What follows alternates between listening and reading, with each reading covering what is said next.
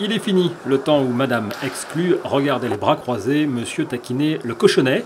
Les femmes ont désormais droit de citer sur les boulodromes et la Fédération française de pétanque fait en sorte qu'elles soient de plus en plus nombreuses.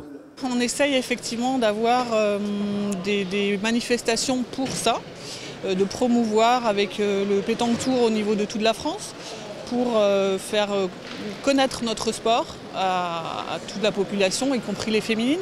On a créé notamment ce championnat de France, c'est que la troisième édition pour le tête-à-tête féminin, justement pour que les femmes aient autant de championnats de France que les hommes. Oui, vous avez bien entendu, ce n'est que la troisième édition du championnat de France tête-à-tête féminin. Si elle représente aujourd'hui moins de 20% des quelques 300 000 licenciés, nos boulistes tiennent à ce rendez-vous. Ah oui, non, ça fait plaisir, parce qu'avant, euh, chez les filles, on avait juste le championnat de France doublette.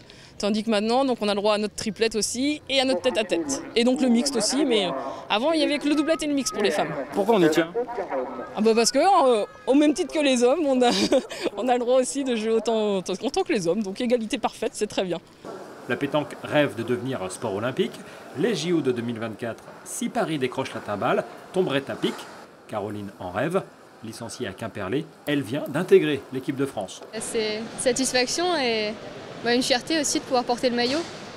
C'était un peu mon rêve depuis que je suis petite, donc euh, c'est réalisé. C'est ma passion et euh, donc je joue la semaine et tous les week-ends aussi en compétition.